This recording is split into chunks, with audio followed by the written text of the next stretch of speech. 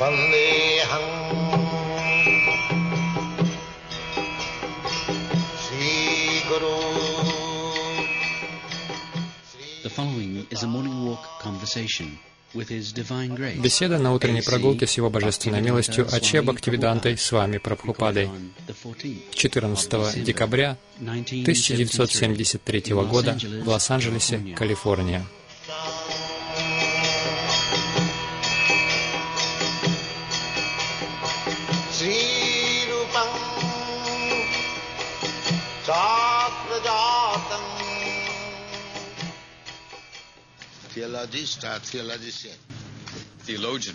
Теологи.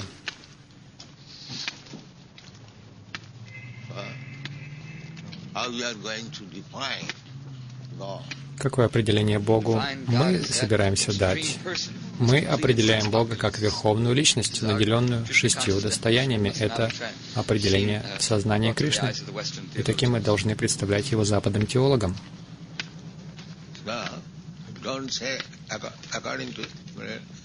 Не говорите, прежде всего нужно определить, что такое.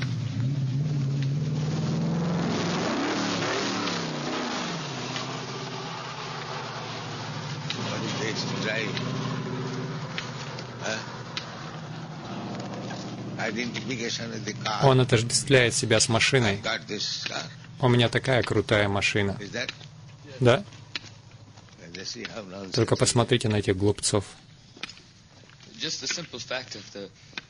Просто сам факт, что Бог Всевышний, люди сейчас отвергают.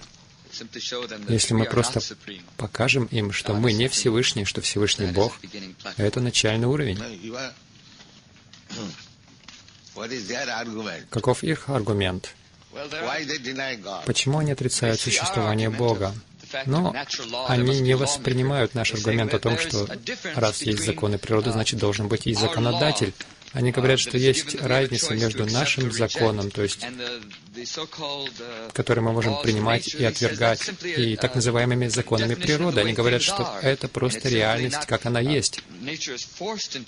Природа просто заставляет их.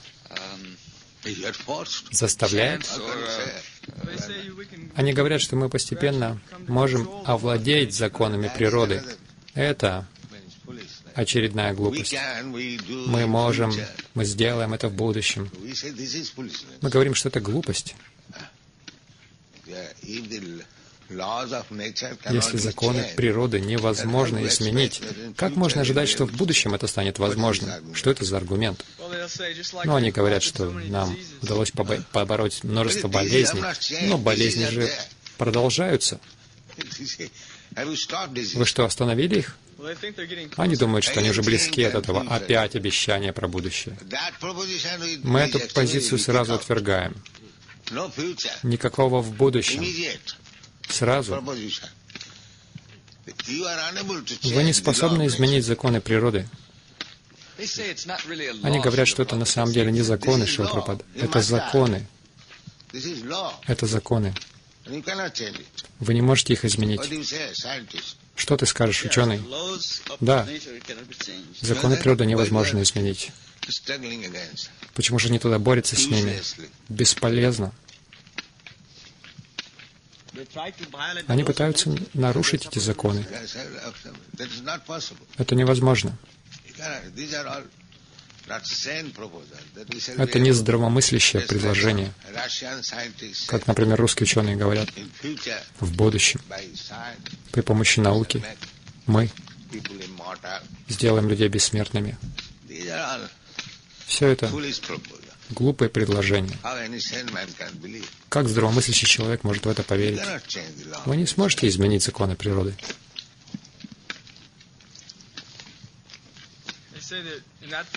Они говорят, что эта философия просто лень.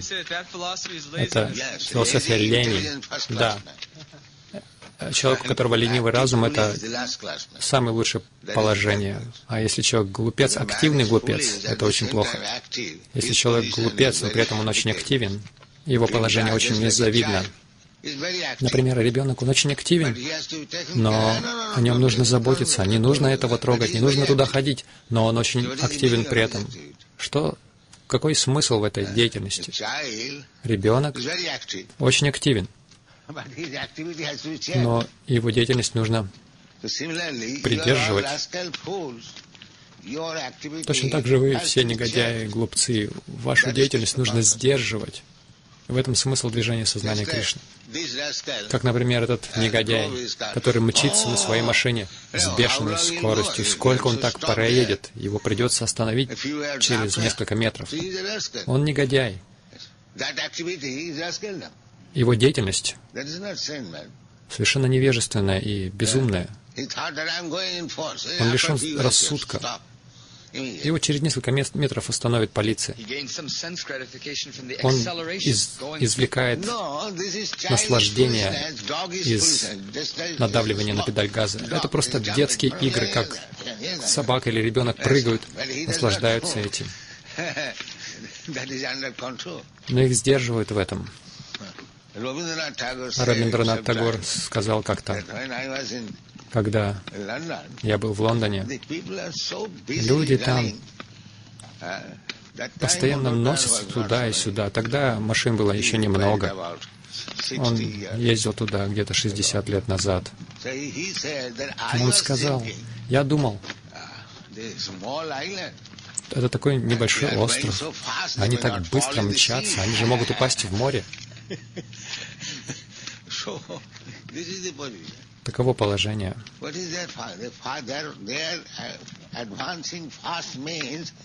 То, что они быстро продвигаются, это означает, что они двигаются семимильными шагами к смерти. Вот и все. Поэтому здравомыслящие люди пытаются придержать их. Пожалуйста, проявите немного лени. Не нужно быть такими активными, иначе вы просто умчитесь в ад во тьму. на самом деле, при помощи так называемого научного прогресса, что они добились? Они добились того, что их жизнь стала короче. Вот чего они добились фактически. Сейчас никто не живет по сто лет.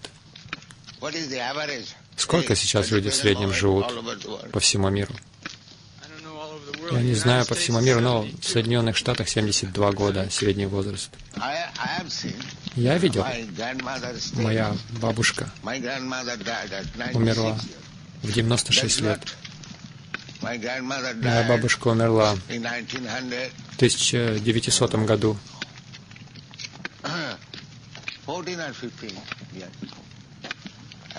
Тогда мне было 14, ей 96. Моя мама была самым младшим ребенком, и она родила 50 лет. Бабушка родила мою маму в 50 лет. Поэтому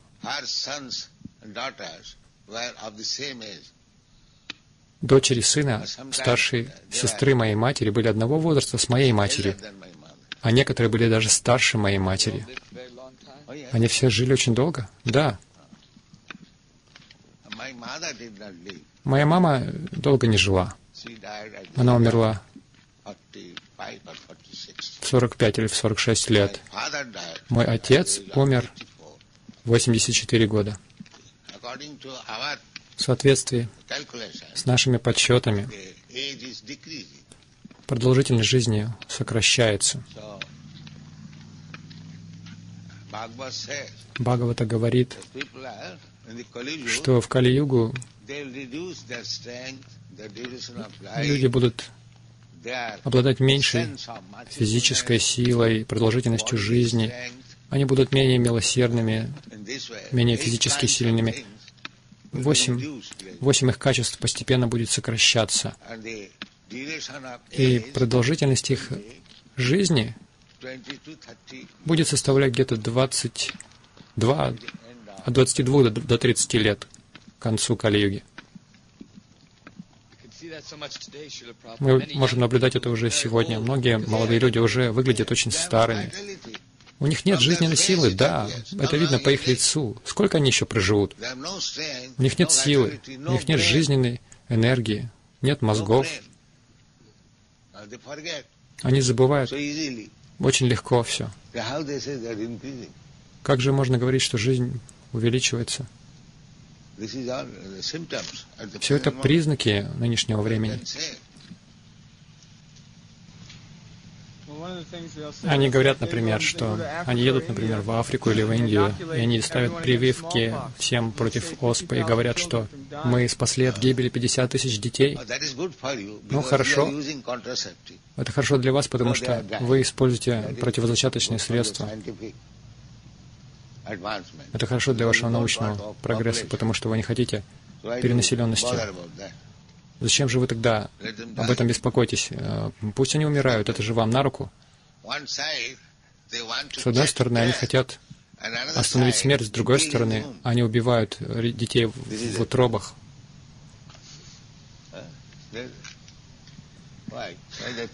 Зачем они убивают? В чем смысл? Чтобы приостановить рост населения в других, а если в других частях населения умирает, то зачем они беспокоятся? Пусть умирает дальше. Все это очень неясно. Такова их философия. Когда ребенок рождается,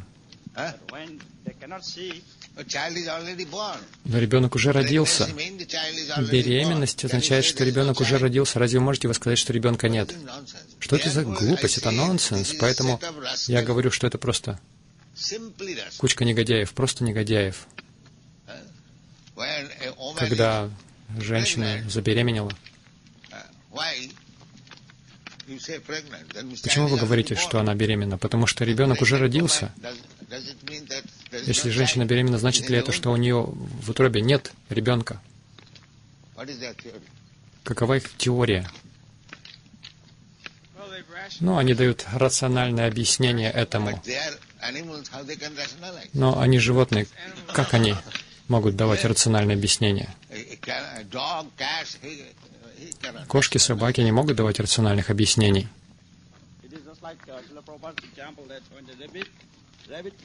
Это как пример, э, который вы приводили. Кролик, который закрывает ушами глаза, он не видит. Также они... Ребенок в чреве, его не видно. Да, это философия кролика. Это не философия человека. Это философия лягушки, философия кролика, философия осла. Поэтому про них говорится. Эти негодяи, лидеры, их прославляют подобные глупцы и негодяи, потому что все население негодяи.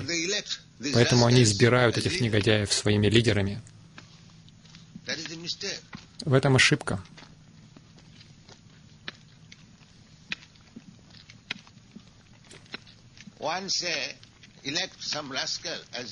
Сначала вы избираете какого-то негодяя лидером, затем вы им недовольны, устраиваете еще одну революцию, вы выбираете еще одного негодяя. Это называется пунах пунах чарвата чарвананам, желание пережеванного. Человек не знает, кого избрать. Он избирает одного человека. Потом раскаивается в этом, потом устраивает революцию, беспокойство, чтобы его свергнуть, затем избирает другого мошенника. Поэтому мы должны давать людям образование, учить их. Изберите того, кто действительно является лидером. Тогда вы будете счастливыми.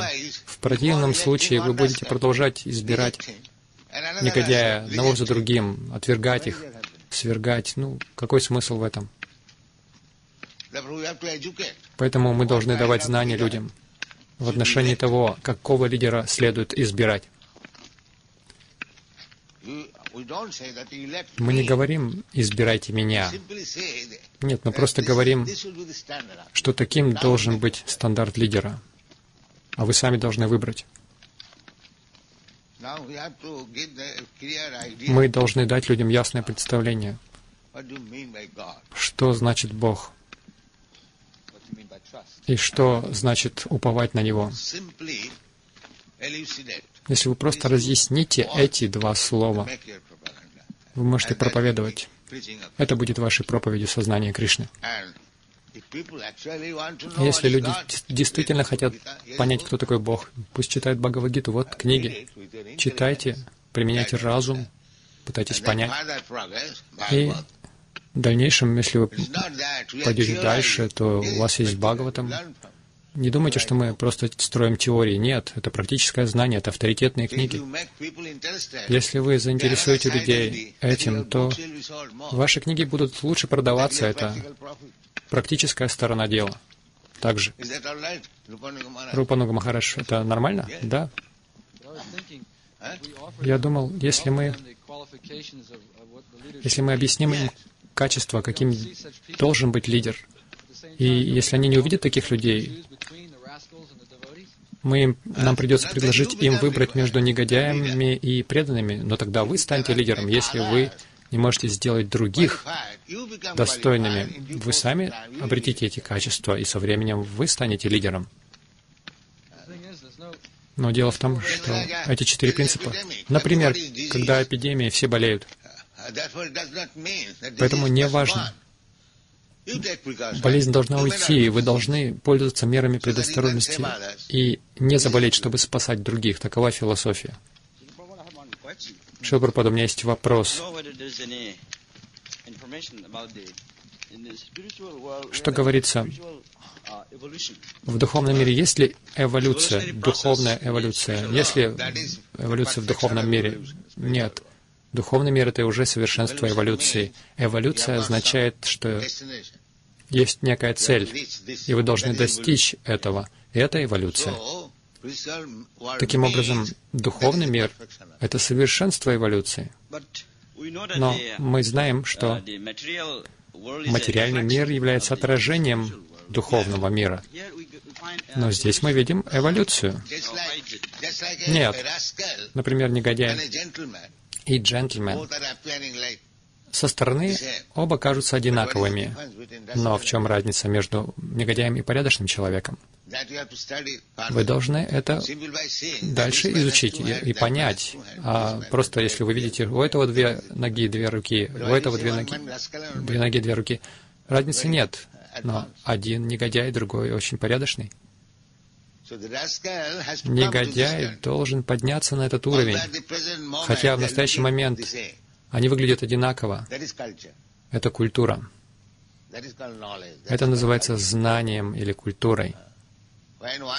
Когда один человек обладает полным сознанием или в совершенстве сознает все в истинном свете, это и есть совершенство.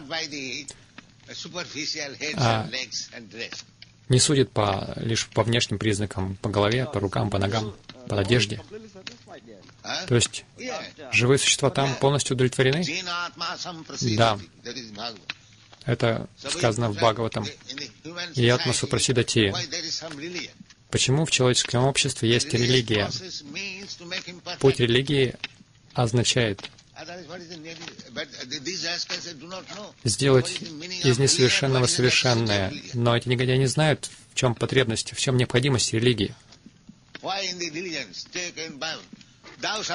Почему в религии есть заповеди «не убей»? Это потому, что вы несовершенны. У вас есть привычка убивать, и вы должны прекратить, бросить эту привычку. Это религия. Почему в, чел... в цивилизованном человеческом обществе существует религия? Религия — это путь, который делает несовершенного человека, поднимает его на совершенный уровень. В этом смысл религии. Или она поднимает человека, который запутался совершенно до сознания Кришны, до совершенного сознания Бога. Это совершенство. Шила Прабхада, они пытаются отделить церковь от государства, но они также от, отделили Бога от страны, потому что они не понимают, кто такой Бог. Бога невозможно отделить, потому что все есть Бог.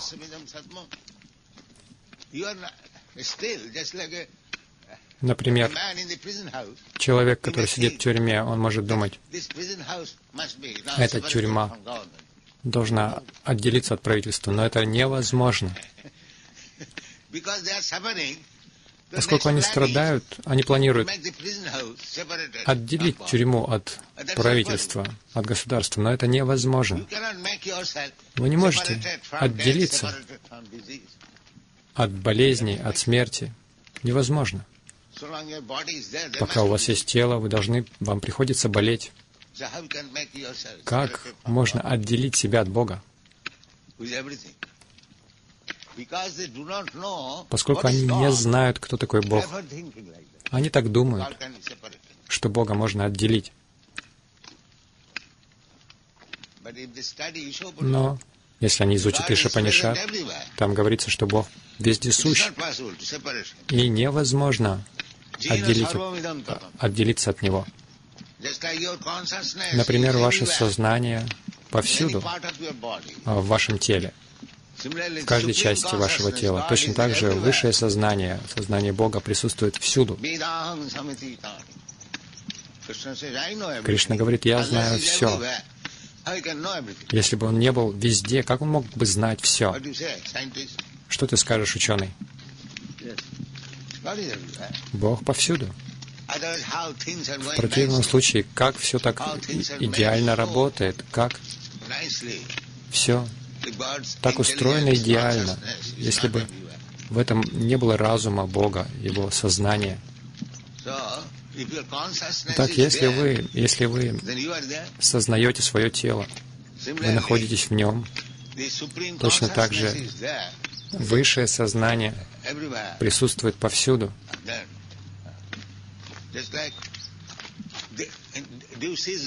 Например, из-за смены времени года листья высыхают и опадают. Вы не можете сказать, что это время года наступает только здесь, не там. Оно наступает везде. Итак, это время года, это и есть сознание Бога. Бог хочет, что сейчас все деревья должны высохнуть, и это происходит естественным образом. Параси Шакти Вивидхайва это его энергия действует настолько идеально. Все происходит в точности согласно его желанию. Мы должны это изучать. Эти негодяи, они говорят природа. Но что такое природа? Природа действует под руководством Бога. Это понимание Бога. Как можно отделить? Так называемая религия, ее можно отвергнуть. Это миссия Бога. Бог говорит, оставь все так называемые религии. Мы это тоже проповедуем.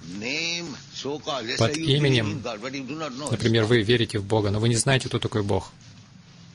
Поэтому вы хотите отделиться от Него.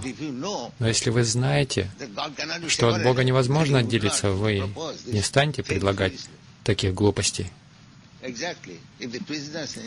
Так же, как если заключенные скажут, мы устроим забастовку, скажем, что в правительстве не должно быть тюрем, но это невозможно. Если есть правительство, значит, будут и тюрьмы. Позавчера полицейский увидел здесь на, на значке ваше изображение. Он спросил, кто этот человек? Я сказал, этот человек, который всегда говорит и думает о Боге. Он сказал, если бы все были такие, то я бы потерял свою работу. Я сказал, ну что, ты бы получил лучшую работу. У нас сотни тысяч людей, они 24 часа всегда заняты. Тем не менее, была бы необходимость в, в полицейских,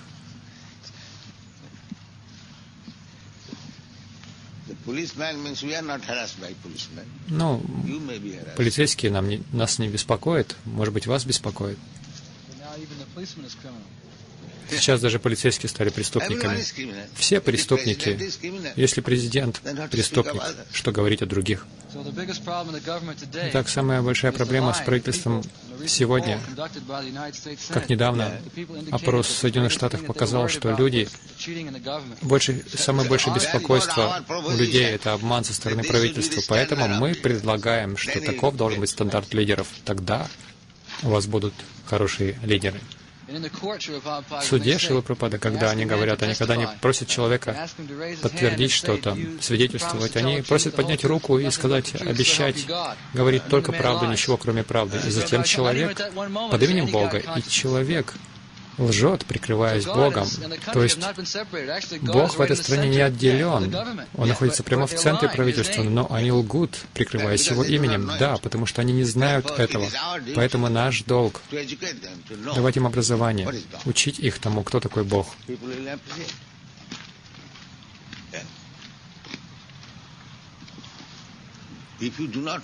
Если вы не знаете чего-то, если я пытаюсь дать вам информацию, на каком основании вы не должны с этим соглашаться и принимать это? Давай обсудим. Я даю тебе какое-то знание. Если ты думаешь, что оно правильное, ты должен его принять. Но вы должны быть примером. Да. Это самый лучший способ учить примером. Поэтому говорится, вы должны вести себя в сознании Бога. Тогда вы сможете учить сознанию Бога. Если вы мясник, и при этом вы учите сознанию Бога, то это не возымеет никакого эффекта. Вчера в самолете Шила Пропада я проповедовал бизнесменам. Мы обсуждали, как лидеры обманывают, как они должны измениться. Я перечислил ему качества лидеров, и мы перечислили каждое из этих качеств. И я спросил его мнение, и ему понравилась эта идея. Мы, мы просто должны проповедовать. Людям это понравится. Но ведические времена кшатрии не всегда следовали всем регулирующим принципам. Нет, это не кшатри. Согласно Бхагавадгите, если вы не следуете принципам кшатрия, вы не кшатри.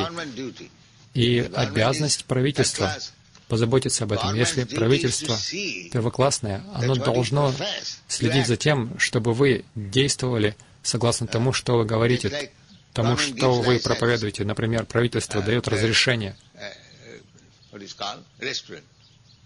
открывать рестораны. Если вы хотите поддерживать, содержать ресторан, вы должны следовать определенным правилам. И обязанность правительства позаботиться об этом. Вы не можете, например, раздавать яд, прикрываясь рестораном. Точно так же, если вы выставляете себя браманом, вы должны действовать как браман. Например, я учу своих учеников, если вы хотите одеть э, браманский шнур, вы должны действовать как браман, иначе вы будете отвергнуты. Точно так же обязанность руководителя позаботиться о том, чтобы тот, кто называется так-то и так-то, должен, соответственно, действовать, иначе его просто не признают.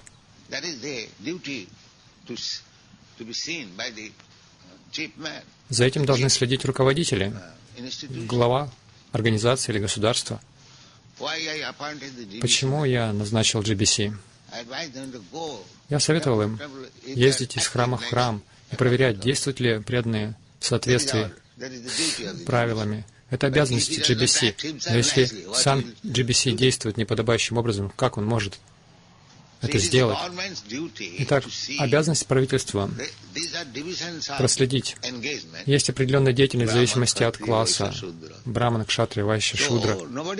Никто не должен сидеть без работы. Все должны быть заняты. У всех должно быть какое-то дело, иначе праздный ум — это кузница дьявола. Это и происходит. Столько хиппи, они без дела слоняются. И правительство должно знать, как их занять. Они не знают, как нация их разлагается, потому что они несовершенны. Они несовершенны. Поэтому они позволяют этому несовершенству прогрессировать. Правительство несовершенно, и они позволяют этой несовер... этому несовершенству развиваться дальше. Юноши хиппи, девушки-проститутки. А правительство слепо, оно не видит этого, не видит, куда они катятся. Так мы никуда не продвинемся, потому что правительство из демонов состоит. Почему из демонов? Потому что вы демоны. Это же ваше правительство. Люди покупают правительство. Но им наплевать на молодых людей, потому что они демоны. Их избрали демоны, поэтому они сами демоны. К чему стремятся демоны? К чувственным удовольствиям. Они не заб... Их не заботят ни вы, ни, ни другие. Это демон. А преданный — это тот, кто заботится о других. Это преданный. В этом разница между демонами и преданными. Например, Хираника Шипу ради удовлетворения собственных чувств был готов убить своего сына, а Прохлад Махарадж думает, до тех пор, пока я не, не приведу всех этих негодяев к сознанию Бога, я не уйду к Нему, я не уйду к Богу. Это преданный. Он говорит, что я не уйду на Вайкунтху. Я должен, я обязан превратить всех этих негодяев, сознающих Кришну. В этом разница. Отец готов убить своего сына, пятилетнего сына, невинного, потому что хотел удовлетворять свои чувства. Я не верю в Бога. А этот ребенок верит в Бога, его нужно убить. Он, он не, не готов был дать независимость своему сыну. Он никогда не говорил, хорошо, верь в Бога, мне все равно. Я лично не верю. Сейчас люди так говорят, по крайней мере. Но он был таким великим демоном. Я не верю, а ты веришь. Я не согласен с тобой, поэтому я тебя убью. Например, Иисуса убили. Люди не верили в Бога, а Он хотел говорить о Боге. В этом разница между демонами и преданными. Преданные всегда думают, Почему мы говорим о политике, о проповеди? Потому что мы испытываем сострадание к страдающим людям. Таково наше положение. В противном случае, зачем мы вообще будем говорить об этом? Пусть делают свое дело, а я буду свое делать. Поэтому мы не одобряем вот это уход в уединенное место и воспевание уединенное. Мой Гуру Махарадж этого не одобрял. Это все глупости. Вы не можете воспевать. Вы будете только спать и думать о всякой ерунде. Вы должны быть заняты постоянно.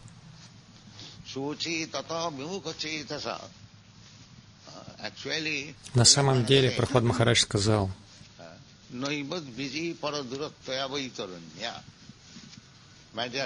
«Мой дорогой Господь, я не беспокоюсь о том, как пересечь океан материального невежества и вернуться к Богу. Эта проблема для меня решена. Как?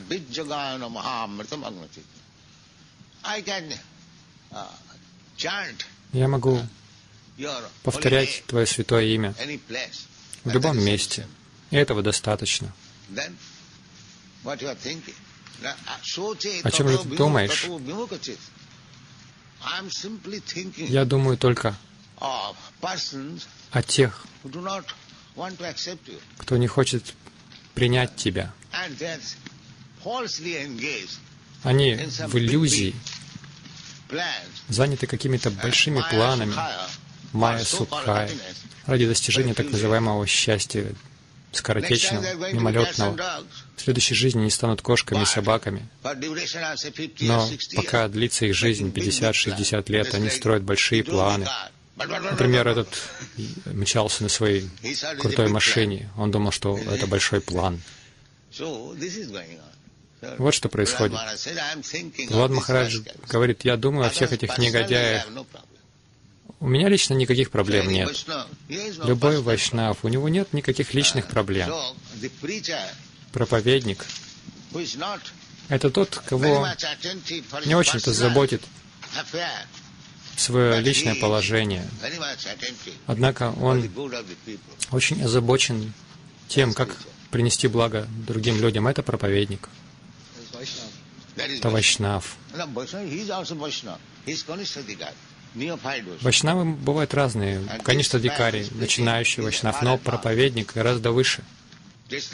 Например, в государстве есть много филантропов, политиков, но один политик участвовал в сражении Джордж Вашингтон, и он погиб в бою. Он сражался за независимость страны, поэтому ему отдают такие великие почести. Есть много политиков, но те, кто сражается против зла, их нужно ставить на высшее положение. Эйзенхауэр был еще одним воином, а они наградили его. Да, это естественно. При проповеднику приходится встречаться с множеством трудностей проповеди сознания Кришны. Поэтому он заслуживает больших почестей, чем тот, кто просто повторяет ради себя. Он заботится, он, может быть, правильно поступает, но он заботится о своих личных интересах. Однако проповедник не ограничивается личными интересами. Как Прохлад Махарадж, он хотел, чтобы все стали счастливыми, обретя сознание Кришны. Некоторые из моих здравомыслящих духовных братьев поняли это. Что мы сделали и что делает Свамиджи. Мы фактически видим, что эти негодяи лишены знания, и они ведут все общество. И люди страдают. Вот что нас заботит. Никсон хотел... Они хотели, чтобы Никсон ушел, но он не хочет. Никто его не хочет, а он держится за кресло что нет возможности его свергнуть. Они говорят сейчас о импичменте, но вице-президент, новый вице-президент мистер Форд является просто бульдогом. У него нет никаких качеств. Он даже не разумен. Через три года есть еще один кандидат, который ждет своей очереди. Его зовут Коннелли. Он был в машине в тот момент, когда Кеннеди убили. И он стал героем, потому что его тоже ранили. И он ждет выборов через три года. Как я говорил, просто поменяв одного демона на другого, не поможет ситуации. Они должны знать, каким должен быть настоящий лидер.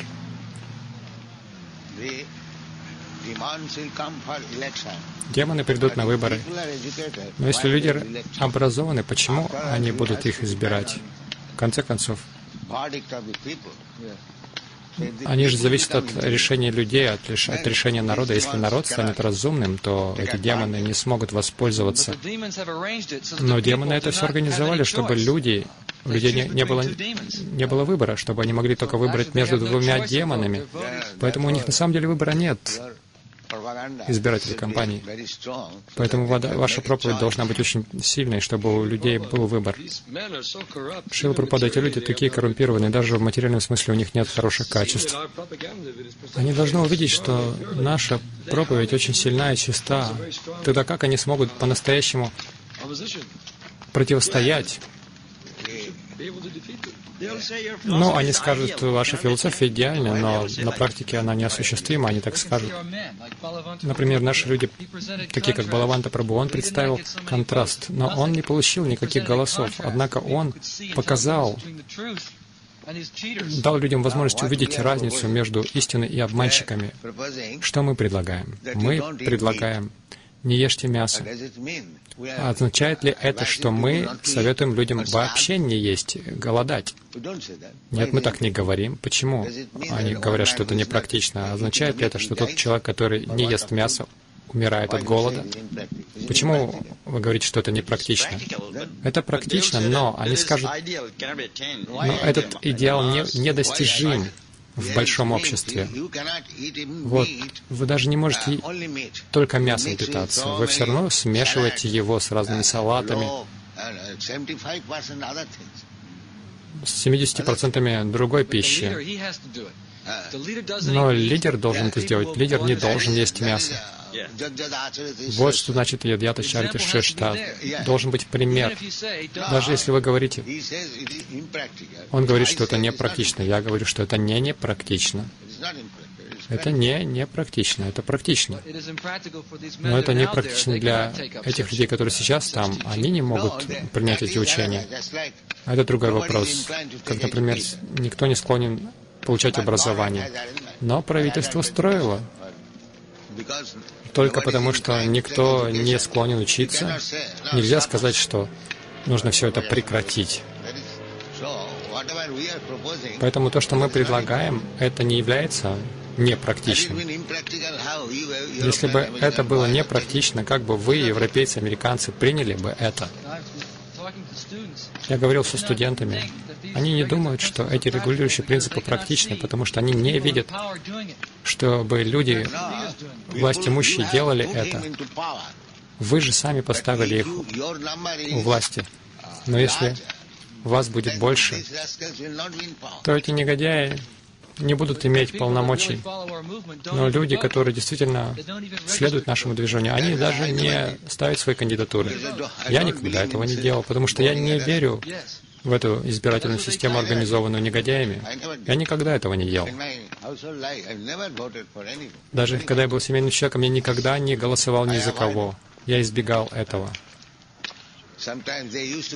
Иногда они приезжали даже за мной на машине, чтобы меня отвезти, но я все равно отказывался. Эти студенты сказали мне, что если бы были кандидаты, участвующие в выборах, из которых можно было бы выбирать, если бы был этот выбор, но этого выбора нет, и они не хотят голосовать. И в конце концов, мы должны как-то побудить этих молодых людей голосовать за нас, но преданные не участвуют в выборах. Кандидатами становятся взрослые люди, если вы сможете дать образование большей части населения, то это автоматически произойдет, изменится. Они говорят, в демократическом обществе должна быть свобода выбора. Если меня ограничивают разными правилами, я буду разочарован, но вы же уже ограничены множеством правил ехать по, по левой стороне или по правой стороне. На каждом шагу правила.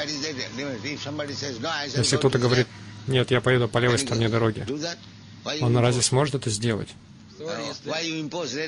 Почему нужно останавливаться на красный свет? Почему? это правило обязательно для исполнения?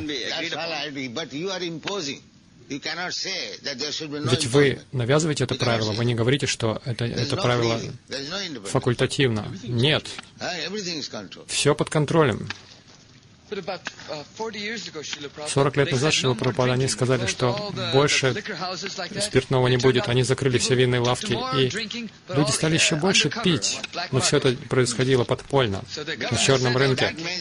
Это означает, что, тем не менее, правительство не должно было распространять употребление спиртного. Каким-то отдельным людям можно позволять употреблять спиртное, но в общем и целом это должно быть наказуемо. Если все пьют, это не означает, что правительство должно производить спиртное в, в промышленных масштабах. Если они издали указ, что люди не должны пить, этот указ должен остаться. Если человек незаконно это делает, он должен быть подвергнут наказанию, строгому наказанию. Тогда люди прекратят естественным образом. Политики считают, что если они будут следовать этому закону, они не получат голосов, потому что большинство людей употребляет спиртное. Они просто хотят взяток. Итак, правительство просто кормит ложными обещаниями. Я буду делать это, буду то делать. Да.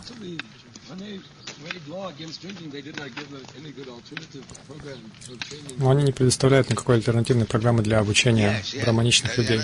Да, это другая причина. Вы не можете просто попросить ребенка перестать играть. Вы должны дать ему образование. Тогда он естественным образом прекратит играть. Допустим, мы можем прекратить убийство животных в стране. Но в стране начнется большой черный рынок мяса.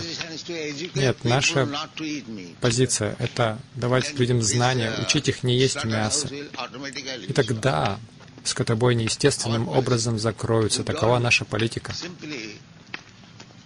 Таков наш подход. Мы не пользуемся диктаторскими методами насильственного навязывания. Мы этого не хотим. Мы должны быть примером.